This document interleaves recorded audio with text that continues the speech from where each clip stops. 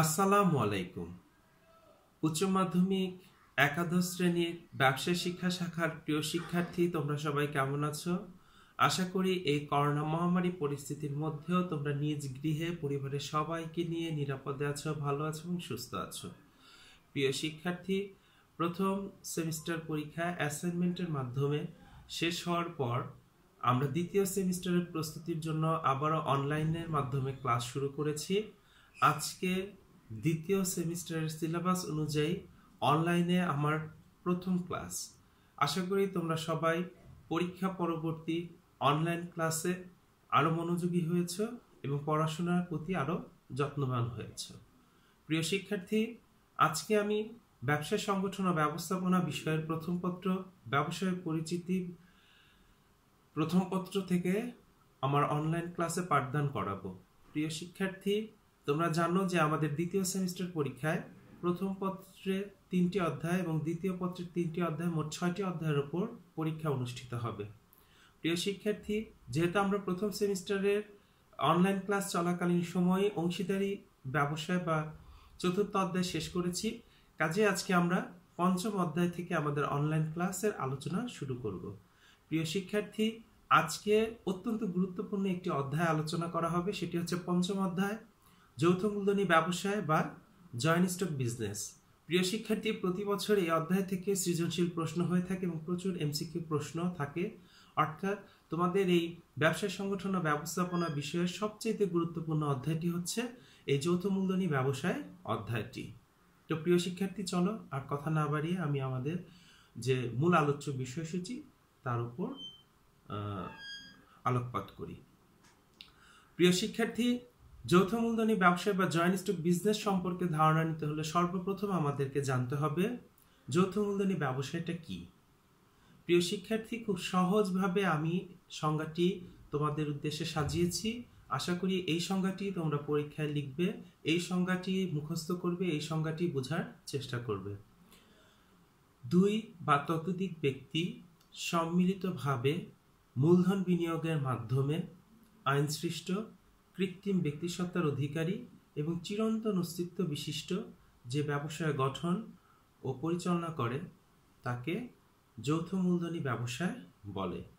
প্রিয় শিক্ষার্থী, আবার আমি আবারও বলছি, দুই বা ততোধিক ব্যক্তি মুনাফা অর্জনের উদ্দেশ্যে সম্মিলিতভাবে মূলধন বিনিয়োগ করে আইনসৃষ্ট, কৃত্রিম ব্যক্তিসত্তার অধিকারী এবং চিরন্তন অস্তিত্ব বিশিষ্ট যে ব্যবসা গঠন ও পরিচালনা করে তাকে যৌথ মূলধনী ব্যবসায় বা জয়েন্ট স্টক বিজনেস বলে। প্রিয় শিক্ষার্থী, আমরা জানি বাংলাদেশে বহাল উনিশশো চুরানব্বই সালের কোম্পানি আইন অনুযায়ী কোম্পানি গঠিত, পরিচালিত ও নিয়ন্ত্রিত হয়। উনিশশো চুরানব্বই সালের কোম্পানি আইনের সংজ্ঞায় বলা হয়েছে, অত্র আইনের অধীনে গঠিত, পরিচালিত এবং বিদ্যমান কোম্পানিকেই যৌথ মূলধনী কোম্পানি বলা হয়, যেটি উনিশশো চুরানব্বই সালের কোম্পানি আইনের দুইয়ের একে ঘ ধারায় উল্লেখ করা হয়েছে। তাহলে যৌথ মূলধনী ব্যবসায় বাংলাদেশে যদি কেউ করতে চায়, তাহলে তাকে অবশ্যই উনিশশো সালের যে আইন রয়েছে, সেই আইন অনুযায়ী ব্যবসা গঠন করতে হবে, সেই আইন অনুযায়ী ব্যবসাটি পরিচালনা করতে হবে এবং সেই আইন দ্বারাই ব্যবসাটি নিয়ন্ত্রিত হবে। যেটি সংজ্ঞাতেই উল্লেখ করা আছে যে, এই অত্র আইনের অধীনে গঠিত এবং পরিচালিত অথবা বিদ্যমান কোম্পানিকে যৌথ মূলধনী ব্যবসায় বলা হয়, যেটি উনিশশো চুরানব্বই সালের কোম্পানি আইনের দুয়ের একের ঘ দ্বারায় উল্লেখ করা আছে। তো প্রিয় শিক্ষার্থী, আমি মনে করি যে তোমরা কোম্পানির সংজ্ঞা সম্পর্কে ভালোভাবে বুঝতে সক্ষম হয়েছ, আর কোনো সমস্যা তোমাদের হবে না। তারপরেও সংজ্ঞা নিয়ে যদি কোনো প্রশ্ন থেকে থাকে, তোমরা আমাকে জানালে আমি সেই বিষয়টা আবারও তোমাদের উদ্দেশ্যে আলোচনা করব। তো প্রিয় শিক্ষার্থী, চলো, এবার আমি আজকের অনলাইন ক্লাসের দ্বিতীয় আলোচ্য বিষয়ের ওপর আলোকপাত করি। সেটি হচ্ছে যৌথ মূলধনী ব্যবসায়ের বৈশিষ্ট্য বা কোম্পানির বৈশিষ্ট্য। প্রিয় শিক্ষার্থী, কোম্পানি যেহেতু আইন সৃষ্ট একটি প্রতিষ্ঠান, কোম্পানি যেহেতু এক মালিকানা এবং অংশীদারি ব্যবসায়ের সীমাবদ্ধতাগুলো দূর করার লক্ষ্য এবং উদ্দেশ্যকে সামনে নিয়ে গঠিত হয়েছে, কাজেই অন্য ব্যবসাগুলোর চাইতে কোম্পানির কিছু স্বতন্ত্র বৈশিষ্ট্য রয়েছে। যে বৈশিষ্ট্যগুলোর মাধ্যমে যৌথ মূলধনী ব্যবসায় বাজারে সবচাইতে শক্ত অবস্থানে দাঁড়িয়ে থেকে ব্যবসায় কার্যক্রম পরিচালনা করে যাচ্ছে। প্রিয় শিক্ষার্থী, যৌথ মূলধনী ব্যবসায় বা কোম্পানি সংগঠনের প্রধান যে বৈশিষ্ট্য রয়েছে, সেটি হচ্ছে আইনসৃষ্ট প্রতিষ্ঠান। প্রিয় শিক্ষার্থী, যৌথ মূলধনী ব্যবসায় আইনের দ্বারা গঠিত হয়। এজন্য যৌথ মূলধনী ব্যবসায়কে আইনসৃষ্ট প্রতিষ্ঠান হিসেবে অভিহিত করা হয়। কোনো ব্যক্তি যদি যৌথ মূলধনী ব্যবসা বা কোম্পানি সংগঠন গড়ে তুলতে চান, তাহলে তাকে আইন অনুযায়ী প্রয়োজনীয় উদ্যোগ গ্রহণ করে, প্রয়োজনীয় কাগজপত্র, দলিলপত্র প্রণয়ন করে, আইনগত যে বাধ্যবাধকতাগুলো আছে, তা পালন করার সাপেক্ষেই তিনি কোম্পানি শুরু করতে পারেন। অর্থাৎ এখানে এক মালিকানা এবং অংশীদারি ব্যবসায়ের মতো খুব সহজেই কিন্তু কেউ চাইলেই ব্যবসায় গঠন করতে পারে না। যৌথ মূলধনী ব্যবসায় বা কোম্পানি সংগঠন গড়তে হলে তাকে অনেক বেশি আইনি আনুষ্ঠানিকতার মধ্য দিয়ে যেতে হয়। ফলে এই প্রতিষ্ঠানটিকে আইনসৃষ্ট প্রতিষ্ঠান হিসেবে অভিহিত করা হয়। অর্থাৎ যৌথ মূলধনী ব্যবসায় বা কোম্পানি সংগঠন হচ্ছে আইনসৃষ্ট একটি প্রতিষ্ঠান। যা এর অন্যতম প্রধান বৈশিষ্ট্য। প্রিয় শিক্ষার্থী, যৌথ মূলধনী ব্যবসায়ের এর পরের যে বৈশিষ্ট্য রয়েছে, সেটি হচ্ছে কৃত্রিম ব্যক্তিসত্তা কৃত্রিম ব্যক্তিসত্তা বলতে আমরা কি বুঝি? কৃত্রিম ব্যক্তিসত্তা বলতে আমরা বুঝি ব্যক্তির ন্যায় কিছু সুযোগ সুবিধা লাভ করা। প্রিয় শিক্ষার্থী, কোম্পানি কিন্তু আইনসৃষ্ট প্রতিষ্ঠান আইনের দ্বারা এটি গঠিত হয়। এই আইনসৃষ্ট প্রতিষ্ঠান হওয়ার কারণে, আইনের দ্বারা এটি গঠিত হওয়ার কারণে ব্যক্তির ন্যায় কিছু সুযোগ সুবিধা কোম্পানি লাভ করে। যেমন, একজন ব্যক্তির মতো কোম্পানিও তার নিজ নামে ব্যাংকে হিসাব খুলতে পারে, তার নিজ নামে অন্যের সাথে চুক্তি সম্পাদন করতে পারে, প্রয়োজনে কোম্পানি অন্যের সাথে নিজ নামে মামলাও পরিচালনা করতে পারে। অর্থাৎ, একজন ব্যক্তি আইনগত কিছু সুযোগ সুবিধা যেটি লাভ করে, মামলা করার, চুক্তি করার, ব্যাংকে হিসাব খোলার, সে ধরনেরই কিছু সুবিধা যৌথ মূলধনী ব্যবসায় পেয়ে থাকে কারণ যৌথ মূলধনী ব্যবসায় আইনসৃষ্ট একটি প্রতিষ্ঠান। কাজেই যৌথ মূলধনী ব্যবসায়ের অন্যতম একটি বৈশিষ্ট্য হচ্ছে কৃত্রিম ব্যক্তিসত্তা, যা অন্য ব্যবসায়ের ক্ষেত্রে বিরল। প্রিয় শিক্ষার্থী, যৌথ মূলধনী ব্যবসায়ের এর পরের যে বৈশিষ্ট্য রয়েছে, সেটি হচ্ছে চিরন্তন অস্তিত্ব। প্রিয় শিক্ষার্থী, যৌথ মূলধনী ব্যবসায়ের অন্যতম প্রধান একটি বৈশিষ্ট্য হচ্ছে চিরন্তন অস্তিত্ব। চিরন্তন অস্তিত্ব বলতে আমরা কি বুঝি? প্রিয় শিক্ষার্থী, যৌথ মূলধনী ব্যবসায় বা কোম্পানি সংগঠন যেহেতু আইনের দ্বারা গঠিত হয়, চাইলে যে কোনো সময় কোম্পানিকে কেউ বিলুপ্তি বা অবসায়ন ঘটাতে পারে না। কোম্পানি আইনের অনেক আনুষ্ঠানিকতার মধ্য দিয়ে যেহেতু গঠিত হয়, কাজে কোম্পানিকে যখন অবসায়ন করতে হয়, বিলুপ্তি ঘটাতে হয়, তখন অনেক বেশি আইনি আনুষ্ঠানিকতা পালনের মাধ্যমেই সেটি করতে হয়। একজন এক মালিকানা ব্যবসায়ী যদি মনে করে আগামীকাল থেকে আমি আর এই ব্যবসা করব না, তাহলে কিন্তু তিনি সেই ব্যবসাটি সে অবস্থাতে বন্ধ করে দিতে পারেন। অংশীদারি ব্যবসায়ের ক্ষেত্রে চুক্তিপত্রের বিলুপ্তি ঘটলেই কিন্তু অংশীদারি ব্যবসায় অবসায়ন হয়ে যায়। কিন্তু কোম্পানি ব্যবসায় কেউ চাইলেই যে কোনো মুহূর্তে অবসায়ন বা বিলুপ্তি ঘটাতে পারে না। এটি আইনি প্রক্রিয়ার মধ্য দিয়ে যেহেতু গঠিত হয়, এটি অবসায়নও অনেক বেশি আইনি আনুষ্ঠানিকতাপূর্ণ। কাজে এ ব্যবসায়ের অস্তিত্বকে চিরন্তন অস্তিত্ব বিশিষ্ট ব্যবসায় বলা হয়। পাশাপাশি এক মালিকানা এবং অংশীদারি ব্যবসায়ের ক্ষেত্রে দেখা যায় অংশীদারগণ এবং এক মালিকানা ব্যবসায়ীরা মালিকরা মারা গেলে অনেক সময় ব্যবসায় আর চালু থাকে না। কিন্তু কোম্পানি মালিকের অনুপস্থিতিতে মালিকের মৃত্যুতেও কিন্তু আইন অনুযায়ী তার কার্যক্রম পরিচালনা করে। ফলে তার মালিকের মৃত্যুর সাথে মালিকের উপস্থিতির সাথে মালিকের অনুপস্থিতির সাথে কোম্পানির কার্যের কোনো মানে লেশমাত্রই তখন থাকে না। অর্থাৎ এটি তার স্বতন্ত্র বৈশিষ্ট্য নিয়ে তিনি কোম্পানি তার কার্যক্রমগুলো পরিচালনা করতে পারে। প্রিয় শিক্ষার্থী, যৌথ মূলধনী ব্যবসায়ের এর পরের যে বৈশিষ্ট্য রয়েছে, সেটি হচ্ছে সদস্য সংখ্যা। প্রিয় শিক্ষার্থী, যৌথ মূলধনী ব্যবসায়ের অন্যতম প্রধান বৈশিষ্ট্য হচ্ছে এর সদস্য সংখ্যা। প্রিয় শিক্ষার্থী, অনেক ধরনের কোম্পানি থাকলেও মূলত কোম্পানি দু ধরনের।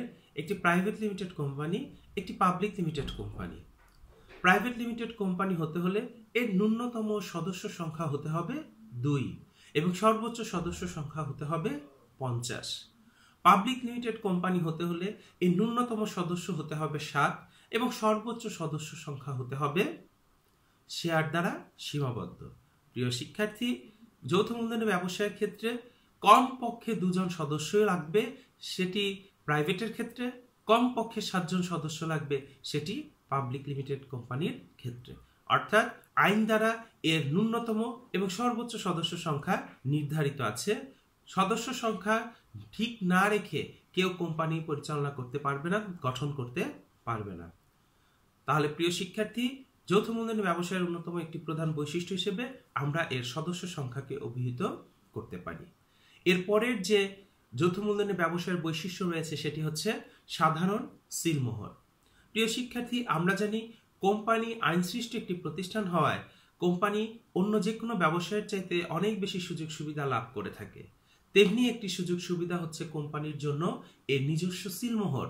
অন্য কোনো ব্যবসায় তার নিজস্ব সিলমোহর ব্যবহার করতে পারে না। কিন্তু কোম্পানি আইনসৃষ্ট প্রতিষ্ঠান হওয়ার কারণে তার নিজস্ব সিলমোহর ব্যবহার করতে পারে। অর্থাৎ কোম্পানির নামেই একটি সিলমোহর তৈরি করে সেটি ব্যবহার করে তারা তাদের যে কোনো কাজে সেটি ব্যবহার করার অধিকার লাভ করে। কারণ কোম্পানি হচ্ছে আইনসৃষ্ট একটি প্রতিষ্ঠান যেটি যৌথ মূলধনী ব্যবসায় বা কোম্পানি সংগঠনের অন্যতম একটি প্রধান বৈশিষ্ট্য।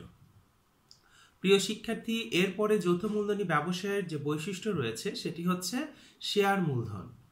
প্রিয় শিক্ষার্থী আমরা জানি যৌথ মূলধনী ব্যবসায় বা কোম্পানি সংগঠন গঠন করা হয় মূলত বৃহদায়তন প্রতিষ্ঠান গড়ে তোলার জন্য। এজন্য এই প্রতিষ্ঠান গড়ে তোলার ক্ষেত্রে মূলধনটিকে শেয়ারে বিভক্ত করা হয়। প্রাইভেট লিমিটেড কোম্পানি হলে এর যে কয়জন মালিক থেকে থাকে, তারা সকলেই শেয়ার অনুপাতে তাদের মূলধন বিনিয়োগ করে। পাবলিক লিমিটেড কোম্পানিও শেয়ার অনুপাতে তাদের মূলধন বিনিয়োগ করে এবং পাবলিক লিমিটেডের কোম্পানির শেয়ারটা কিন্তু বাজারে অবাধে হস্তান্তরযোগ্য হয়। ফলে তুলনামূলকভাবে পাবলিক লিমিটেড কোম্পানির শেয়ারের আঙ্কিক মূল্য কম থাকলেও মোট মূল্য অনেক বেশি থাকে। অর্থাৎ কোম্পানির মূলধনটাকে শেয়ারের মাধ্যমে বিভক্ত করা হয়। মোট মূলধনকে শেয়ার সংখ্যা দ্বারা বিভক্ত করে এর মূলধন সংগ্রহ করা হয়ে থাকে। প্রিয় শিক্ষার্থী, যৌথ মূলধনী ব্যবসায়ের এর পরের যে বৈশিষ্ট্য রয়েছে, সেটি হচ্ছে শেয়ার হস্তান্তর যোগ্যতা প্রিয় শিক্ষার্থী, যৌথ মূলধনী ব্যবসায়ের বা কোম্পানি সংগঠনের আরও একটি গুরুত্বপূর্ণ বৈশিষ্ট্য হচ্ছে এর শেয়ার হস্তান্তর যোগ্যতা প্রাইভেট লিমিটেড কোম্পানির শেয়ার হস্তান্তরযোগ্য, তবে সেটি অবাধে হস্তান্তরযোগ্য নয়। প্রাইভেট লিমিটেড কোম্পানির কোনো শেয়ার হোল্ডার যদি মনে করে, আমি আমার সে, অংশের শেয়ার রাখব না, তিনি অপর শেয়ার হোল্ডারদের সাথে আলোচনা করে তার অংশের শেয়ার সে বিক্রিও করতে পারে এবং পাবলিক লিমিটেড কোম্পানির শেয়ার যেহেতু বাজারে উন্মুক্ত অবস্থায় বিক্রি করা হয়, কাজে উন্মুক্তভাবে বা অবাধভাবেই এই শেয়ারের মালিকানা হস্তান্তর করা যায়। যে যখন চাইলেই তার মালিকানা শেয়ার থেকে বিক্রয়ের মাধ্যমে প্রত্যাহার করে নিতে পারে। অর্থাৎ প্রাইভেট লিমিটেড কোম্পানির শেয়ার অবাধে হস্তান্তরযোগ্য নয়, তবে হস্তান্তরযোগ্য। আর পাবলিক লিমিটেড কোম্পানির শেয়ার অবাধে হস্তান্তরযোগ্য। প্রিয় শিক্ষার্থী, এরপরে আমাদের যৌথ মূলধনী ব্যবসায় বা কোম্পানি সংগঠনের যে বৈশিষ্ট্য রয়েছে, সেটি হচ্ছে সীমাবদ্ধ দায়। প্রিয় শিক্ষার্থী, কোম্পানির মূলধন যাই হোক না কেন, একজন শেয়ার হোল্ডার শুধুমাত্র তার বিনিয়োজিত মূলধনের অনুপাতেই দায় গ্রহণ করবে। অর্থাৎ একজন ব্যক্তিকে তার মোট বিনিয়োজিত মূলধন, অর্থাৎ শেয়ার মূল্যের চাইতে অধিক দায় এখানে দেয়া যাবে না। অর্থাৎ প্রত্যেকের দায় এখানে সীমাবদ্ধ থাকবে তার বিনিয়োজিত মূলধন দ্বারা। কাজে যৌথ মূলধনী ব্যবসায় বা কোম্পানি সংগঠনের অন্যতম গুরুত্বপূর্ণ একটি বৈশিষ্ট্য হচ্ছে সীমাবদ্ধ দায়। প্রিয় শিক্ষার্থী, যৌথ মূলধনী ব্যবসায়ের এর পরের যে বৈশিষ্ট্য রয়েছে, সেটি হচ্ছে বিধিবদ্ধ দায়িত্ব। যৌথ মূলধনী ব্যবসায় বা কোম্পানি সংগঠন যেহেতু আইনসৃষ্ট প্রতিষ্ঠান, আইনের দ্বারা এটি গঠিত হয়, আইনের দ্বারা এটি পরিচালিত হয় এবং আইন দ্বারাই এটি নিয়ন্ত্রিত হয়। ফলে অন্য ব্যবসায় যেখানে কোনো বিধিবদ্ধ দায়িত্ব থাকে না, যৌথ মূলধনী ব্যবসায়ের ক্ষেত্রে কিন্তু কিছু বিধিবদ্ধ দায়িত্ব থাকে, যেটি আইনে নির্দেশিত পন্থায় তাদেরকে পালন করতে হয়। যেমন, আইনের নির্ধারিত নির্দিষ্ট পন্থায় যৌথ মূলধনী ব্যবসা বা কোম্পানি সংগঠনকে সময় সময় সাধারণ সভা করতে হয়। তাদের সবার সিদ্ধান্তগুলো লিখিত রাখতে হয়। তাদের আর্থিক হিসাব নিকাশগুলো কীভাবে করতে হবে সে ব্যাপারে আইনের নির্দেশিত পথেই তাদের কার্যক্রমগুলো পরিচালনা করতে হয়। অর্থাৎ, কোম্পানি আইনসৃষ্ট প্রতিষ্ঠান হওয়ার কারণে তাকে কিছু বিধিবদ্ধ দায়িত্ব পালন করতে হয়, যেটি এ ব্যবসায়ের অন্যতম প্রধান বৈশিষ্ট্য। প্রিয় শিক্ষার্থী, এরপরে যৌথ মূলধনী ব্যবসায় বা কোম্পানি সংগঠনের যে বৈশিষ্ট্য রয়েছে, সেটি হচ্ছে বৃহদায়তন প্রতিষ্ঠান। প্রিয় শিক্ষার্থী, আমরা জানি বৃহদায়তন প্রতিষ্ঠান গড়তে অধিক মূলধনের প্রয়োজন হয়। যত বেশি মূলধন পাওয়া যাবে, প্রতিষ্ঠান তত বেশি বৃহৎ পরিসরে তার কার্যক্রম পরিচালনা করতে পারবে। যৌথ মূলধনী ব্যবসায় বা কোম্পানি সংগঠন যেহেতু শেয়ারের মাধ্যমে অনেক মূলধন সংগ্রহ করতে পারে, ফলে এই প্রতিষ্ঠা, এই কোম্পানির দ্বারা, এই সংগঠন দ্বারা যে ব্যবসাটি গড়ে ওঠে, সেটিও বৃহদায়তন প্রকৃতির হয়ে থাকে। কারণ অধিক মূলধন দিয়ে তো আর ক্ষুদ্র প্রতিষ্ঠান গড়ে তোলা হয় না। অধিক মূলধনের মাধ্যমে বৃহদায়তন প্রতিষ্ঠান গড়ে তোলা হয়, যা যৌথ মূলধনী ব্যবসায় বা কোম্পানি সংগঠনের অন্যতম গুরুত্বপূর্ণ একটি বৈশিষ্ট্য। প্রিয় শিক্ষার্থী, যৌথ মূলধনী ব্যবসায় বা কোম্পানি সংগঠনের সবশেষ যে বৈশিষ্ট্য রয়েছে, সেটি হচ্ছে স্বতন্ত্র ধর্মী ব্যবস্থাপনা। স্বতন্ত্র ধর্মী ব্যবস্থাপনা। প্রিয় শিক্ষার্থী, অন্যান্য ব্যবসায়ের ক্ষেত্রে যেখানে আমরা দেখি ব্যবস্থাপনা এবং মালিকানা একই জায়গায় সীমাবদ্ধ থাকে, সেক্ষেত্রে আমরা ব্যতিক্রম লক্ষ্য করি যৌথ মূলধনী ব্যবসায় বা কোম্পানি সংগঠনে, যেখানে মালিকানা এবং ব্যবস্থাপনা সম্পূর্ণ পৃথক থাকে। কোম্পানি প্রাইভেটই হোক আর পাবলিকই হোক সেটি পরিচালনা করার জন্য পৃথক পরিচালনা পর্ষদ গঠিত হয়। সেই পৃথক পরিচালনা পর্ষদ দ্বারাই কিন্তু কোম্পানি পরিচালিত হয়ে থাকে। প্রিয় শিক্ষার্থী, যদি কোম্পানিটি প্রাইভেট লিমিটেড কোম্পানি হয়, তাহলে তার শেয়ার হোল্ডারদের মধ্য থেকে একটি আলাদা পরিচালনা পর্ষদ গঠন করা হয়। আর পাবলিক লিমিটেড কোম্পানি হলে শেয়ার হোল্ডারদের মধ্য থেকে পরিচালক নিয়োজিত হয় এবং বাজারে যে শেয়ার বিক্রি হয়, তাদের ভোটে তাদের পক্ষ থেকে লোকজনকে নিয়ে তারপর কিন্তু তাদের এই পরিচালনা পর্ষদ আইন অনুযায়ী গঠন করতে হয় এবং আইনের নির্দিষ্ট সময় পর পর সেই পর্ষদ ভেঙে পুনরায় পর্ষদ গঠন করা হয়।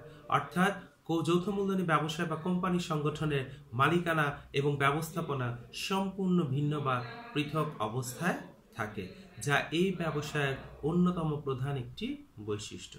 প্রিয় শিক্ষার্থী, আজকের অনলাইন ক্লাসে আমরা যৌথ মূলধনী ব্যবসায় বা কোম্পানি সংগঠন বা কোম্পানি কাকে বলে এবং যৌথ মূলধনী ব্যবসায় এবং কোম্পানি সংগঠনের বৈশিষ্ট্যগুলো আলোচনা করেছি। প্রিয় শিক্ষার্থী, বৈশিষ্ট্যগুলো তোমরা খুব গুরুত্ব দিয়ে পড়বে, কারণ বৈশিষ্ট্যের মধ্য থেকেই কিন্তু যৌথ মূলধনী ব্যবসায়ের সৃজনশীল প্রশ্নের বিষয়গুলো থাকে। প্রিয় শিক্ষার্থী, তোমরা আশা করি আজকের অনলাইন ক্লাসের বিষয়গুলো খুব ভালোভাবে বুঝতে সক্ষম হয়েছ। প্রিয় শিক্ষার্থী এই করোনা পরিস্থিতিতে তোমরা সবাই নিজ গৃহে নিরাপদে থাকবে, ভালো থাকবে। আবারও তোমাদের সাথে অনলাইন ক্লাসে যুক্ত হব। সেই প্রত্যাশা রেখে আজকের অনলাইন ক্লাস থেকে আমি বিদায় নিচ্ছি। সবাই তোমরা ভালো থাকো, সুস্থ থাকো, নিরাপদে থাকো। খোদা হাফেজ।